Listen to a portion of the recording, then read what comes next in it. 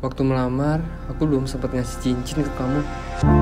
Ya meskipun kita tahu kalau kita bukan tipikal sosok yang perlu cincin sih. Cuman kayaknya kita perlu make deh.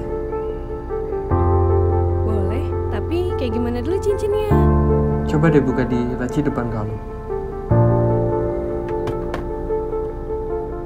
Wah, apa nih? Suka nggak? Coba buka. Banget. Masa Ada sih? aksen hitamnya.